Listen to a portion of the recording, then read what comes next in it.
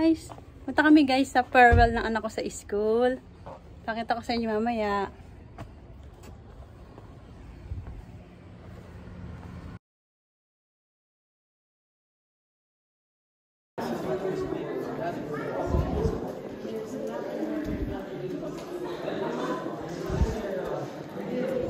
Ano?